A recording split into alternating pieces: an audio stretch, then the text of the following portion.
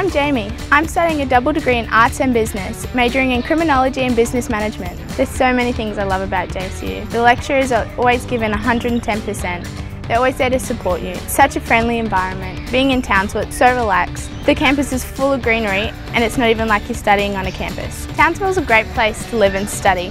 I love hanging out at the Strand with my friends or having a trip over to Maggie Island and there's so much sport that you can get involved in on and off campus. If you're thinking about studying, why not think about JCU Townsville?